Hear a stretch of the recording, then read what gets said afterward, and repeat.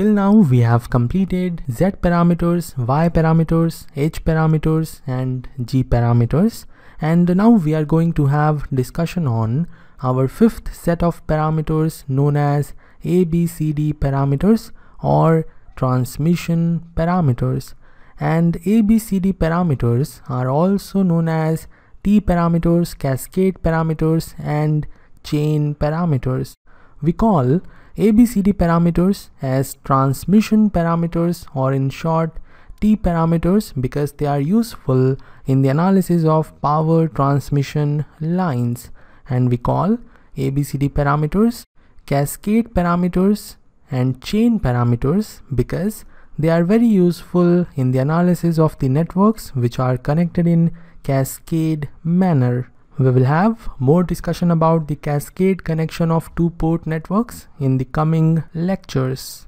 So these are the different names of ABCD parameters and out of four variables we are having in our two port network current I2 and voltage V2 are the two independent variables and current I1 and voltage V1 are the two dependent variables and ABCD parameters were given a lot earlier than our convention our convention that I1 and V1 are the input port current and voltages current I2 and V2 are the output port current and voltages and like current I1, I2 will also enter the two-port network. The conventions were a bit different when ABCD parameters were given by Lord Kelvin. According to the convention, this port, port number 1 or the input port is our supply end port and the voltage at supply end port is represented by V sub S, the supply end voltage and the current entering the two-port network at the supply end is represented by I sub S known as the supply end current and this port port number 2 or the output port is our receiving end port and the voltage at the receiving end is represented by V sub R receiving end voltage and the current will leave the two port network and we represent the current by I sub R, the receiving end current. Now when you focus on port number 1, you will find voltage Vs is equal to voltage V1. Voltage Vs is equal to voltage V1 and current Is is equal to current I1 both the currents have the same direction and they are in the same branch. Therefore they are equal. Current is is equal to current i1 now focus on port number 2 you will find voltage vr is equal to v2 voltage vr is equal to v2 and current ir is equal to negative of current i2 the two currents are in the same branch therefore they will have the same magnitude but I2 is flowing in opposite direction as compared to IR therefore we will put negative sign. So this is what we have. And we know that in case of ABCD parameters voltage V2 and current I2 are the independent variables and therefore we can say that voltage VR and current IR are the independent variables. Voltage VR and current IR are the independent variables and we know voltage V1 and current I1 are the dependent variables or we can say that voltage Vs and current Is are the dependent variables. So this is what we are having in case of ABCD parameters and this means voltage Vs will depend on both VR and IR. It will be the function of VR and IR. Voltage Vs will be the function of voltage VR and current IR and current IS will also depend on VR and IR. So current I S will also be the function of VR and IR and from here we will have two equations the first equation will be Vs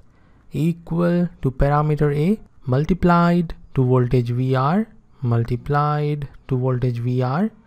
plus parameter B multiplied to current IR multiplied to current IR and the second equation will be current IS equal to parameter C multiplied to VR plus parameter D multiplied to IR. Now from here we can write this equation as V1 equal to A V2 plus B multiplied to minus I2. Let's say this is our equation number 1 and we can write this equation as current I1 equal to C multiplied to V2 plus D multiplied to minus I2 and let's say this is our equation number 2 and we can further write equation number 1 as V1 equal to A V2 minus B I2 let's say this is our equation number 3 and we can write equation number 2 as current I1 equal to CV2 minus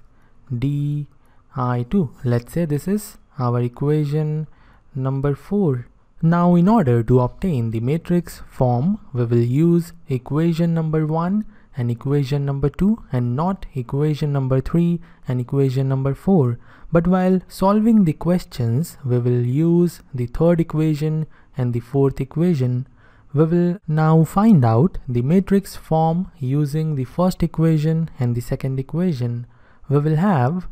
one 2 by 1 matrix having the elements v1 and i1 and this 2 by 1 matrix will be equal to the product of 2 by 2 matrix and 2 by 1 matrix. 2 by 2 matrix will have the elements a b c and d. And 2 by 1 matrix will have the elements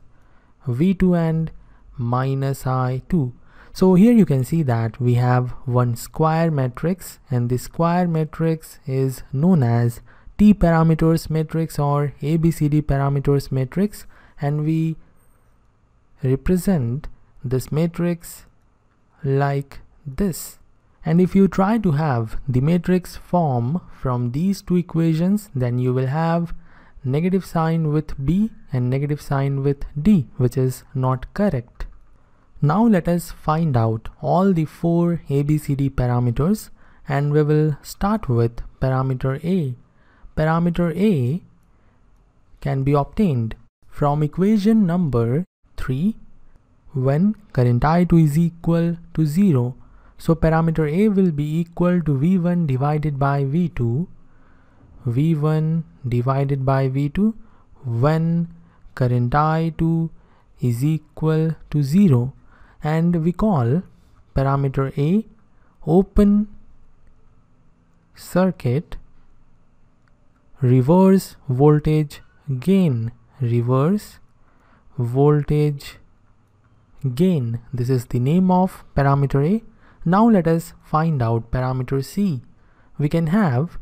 parameter C from equation number 4 when I2 is equal to 0 and it will be equal to I1 divided by V2 current I1 when divided by V2 with condition current I2 equal to 0 and we call parameter C open circuit open circuit reverse transfer admittance now let us find out parameter b. We can have parameter b from equation number 3 when v2 is equal to 0 and it will be equal to v1 divided by minus i2 voltage v1 when divided by negative of current i2 with condition v2 equal to 0 and we call parameter b short circuit short circuit reverse transfer reverse transfer impedance. And now it's time to find out our final parameter which is parameter D. And we will have parameter D from equation number 4 when V2 is equal to 0 parameter D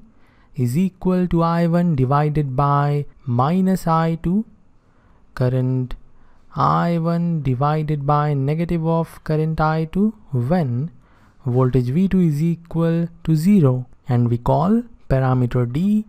short circuit short circuit reverse current gain reverse current gain